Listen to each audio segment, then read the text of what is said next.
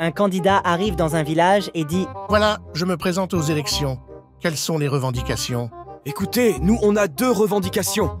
La première revendication, on n'a pas de médecin dans le village. Comment ça, vous n'avez pas de médecin? Il prend son téléphone et dit Allô, oui, c'est pas normal. Je veux deux médecins pour la région, sinon ça va partir en cacahuète. Puis il raccroche et dit C'est quoi la deuxième revendication? Bah, il n'y a pas de réseau ici pour le téléphone. N'oubliez pas de laisser un pouce bleu si vous avez aimé la blague. Et si ce n'est pas déjà fait, cliquez sur le bouton S'abonner pour ne pas manquer nos prochaines vidéos. C'est un petit geste qui signifie beaucoup pour nous. Si vous avez des blagues ou des suggestions pour des vidéos futures, nous serions ravis de les entendre. Laissez-les dans la section des commentaires ci-dessous. Et n'hésitez pas à partager cette vidéo avec vos amis. Cela nous aide énormément.